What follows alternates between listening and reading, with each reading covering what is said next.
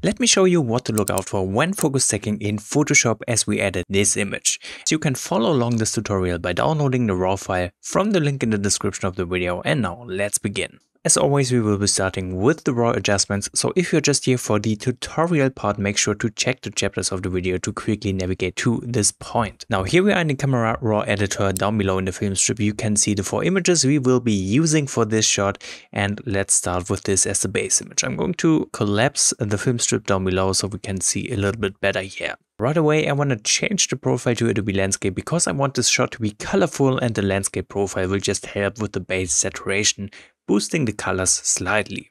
Then let's work on the exposure in the lights panel. First off, I'd like the base image to be a little bit brighter, so I'm going to bring up the exposure. Alright, of course this will have a negative effect on the sky as we now lose a bit of detail in those bright areas. I'm going to pull down the highlights quite a bit so we can get back all this nice detail, especially in those clouds like this. Wonderful. Then I'm very gently pushing the shadows to get out some more details from the darkest parts. At the same time, I'm going to gently drop the blacks just to add a bit of contrast and that's it for the light adjustments. That's looking pretty good so far. Let's continue in the color tab. I'd like this shot to be a little bit warmer, so I'm going to very carefully bring up the temperature, not too much, I just want to have a hint of golden light right here at the top. Also, I'm going to bring up the vibrance a little bit, boosting the colors further, but that's about it for the color panel. Then let's go ahead, open up the effects tab. I do want this shot to look sharp and clear, therefore I'm going to bring up the texture a bit, making the finer details of this image look sharper. I'm also going to bring up the clarity, which will boost the midtones contrast. And I think that's pretty much it for the basic adjustments. So let's compare to before real quick. That's what we have started with. You can see the exposure is quite off here with the clipped sky and the darker foreground to after, where we have much more details. Now let's focus on a few areas locally, creating more depth for this scene using a bit of masking. Open up the masking panel right here I'm going to start working on the foreground because that's an area which we can use to create depth by improving this shadow right here. So how can we do that? Let's start with a simple linear gradient here. Using this linear gradient, I'm trying to target all these shadows in the foreground without affecting the light on top of that hill like this. Now I don't want to affect everything the same, especially those bright white flowers. Those shouldn't get darker, so I need a way to deselect them from this mask. I'm going to subtract a color range mask, and with that color range mask eyedrop, I'm just clicking right here in the white flower like this. And just like that, we have created a perfect mask for the purpose we want to use it. And now let's simply pull down the exposure, creating some very nice shadow this way. Alright, that's looking great. I think I'm going to pull up this linear gradient a little further. And right away, let me use another linear gradient. I'm going to stack it on top, but I'm making it a little bit smaller this time. So the very near foreground will become even darker giving us a more natural effect. Again, I'm subtracting a color range mask, getting rid of these white flowers from that selection. Then I'm going to bring down the whites instead of the exposure because I'm afraid of clipping the darkest parts of this area. So bringing down the whites will make it darker without introducing clipping in the darkest parts. Just like this. I think that looks great. I think I can even stack one more linear gradient on top. So let's do the same thing one more time. Choose a linear gradient and again, I'm making it even smaller this time. And again, let's subtract with a color range mask to get rid of these flowers. So let's see, and let me try to pull down the exposure and carefully watch the histogram. I think I can safely go with minus 0.5 like this. We do have a little bit of clipping right here now, but I don't think it's too dramatic. So that's looking much better, creating some kind of 3D-like effect on this shot. So let's continue. I also want to use a linear gradient on the sky, making the very top part just a little bit more interesting. I'm going to drop the exposure for that. Alright, maybe let's even bring up the contrast, giving those clouds some more structure. Okay, nice. Let me use another linear gradient for the top right corner of the sky. Here I'm going to bring down the blacks, making this corner just a little bit darker. Okay, that's looking good. Then let me introduce a bit of glow using a radial gradient on the left side, right here where the horizon meets the landscape. Okay, for the glow effect, all I do is to bring up the blacks and I am going to pull down the dehaze for a more intense glow. Beautiful. Then we can introduce a bit of warmth by bringing up the temperature like that. Then one more thing I want to do, I want to specifically target these flowers in the foreground. So let's use a color range mask. I'm going to click right in here. You see we get a pretty good selection, but we're selecting a little bit too much. So we need to modify this mask. I'm going to subtract a linear gradient and I'm taking out pretty much everything at the top which lies in the light already. Now I'm going to bring up the whites, which will make these flowers stand out a little more, making the foreground look more interesting. You might notice these flowers start to look a bit too yellowish. I want them to be kind of a purer white. So I'm going to bring down the temperature to achieve that. All right, and finally we could bring up the clarity, giving these flowers some more punch. Perfect. And that's it for the masking adjustments. Let me turn off all the masks to see the difference from before to after. Much, much better. All right, let's continue with a little bit of color grading. I'm going to open up the color mixer for that. Here, let's work on the saturation first. And I want to boost the yellow tones specifically, making the light areas of this image more intense.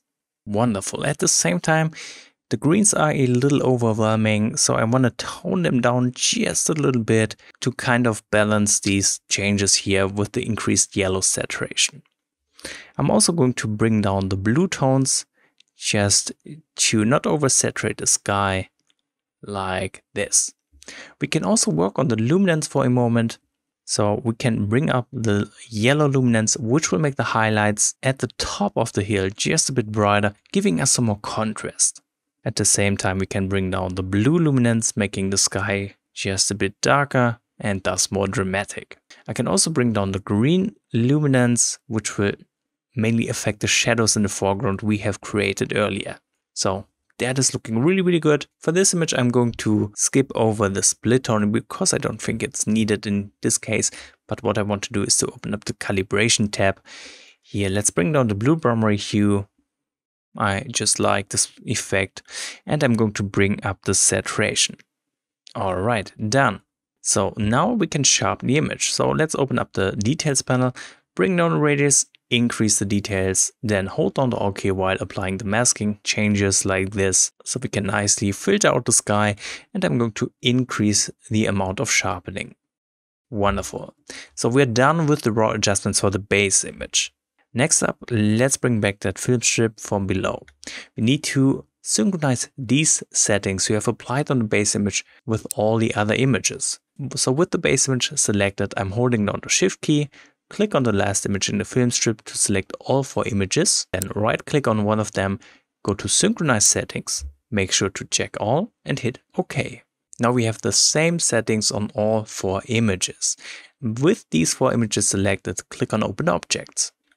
Now we want to stack all four images in the same Photoshop file. So I'm going to hit Ctrl A to select everything, hit Ctrl C to copy the selection, and let's go to our base image up here.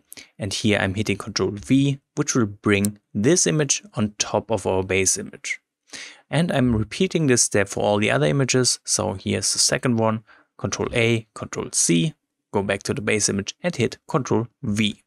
Now we have three layers up in here. Let's do this one more time. Control A, Control C, go back to the base image and hit Control V. In the layers panel, you can see we have now all four images stacked on top of each other. Now for the focus stacking, let me deactivate all these layers. What you can see when I bring them back in one by one, these images are kind of misaligned because when you shift the focus on certain lenses, it will also slightly change the view angle. So we need to align these four layers. That's really, really simple. Simply select all four layers, go to the edit menu. Here we want to choose auto align layers and without changing anything, just hit OK. Photoshop will automatically align all four layers for us. Once this is done, I can deactivate them again and you will see they are nicely stacked on top of each other. Now for the focus stacking. Again, I'm selecting all four layers. Then we are going to the edit menu once more and here just below auto align layers we will find auto blend layers, which we want to click now.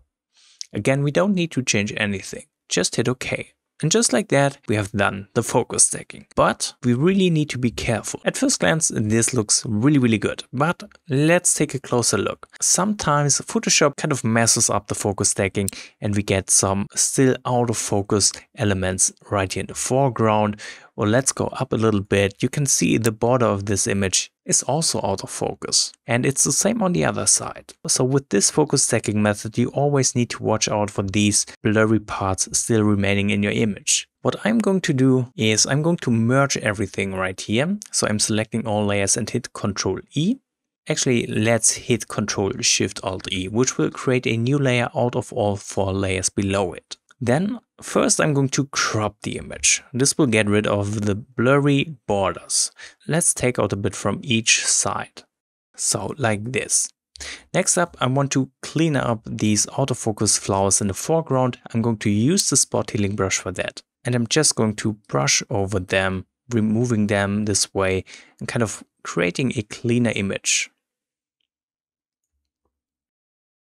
Alright, and that's looking much much better than before. Of course, if you want to have the best possible results and you want to keep all these elements in the image, you might want to check out different ways of focus stacking.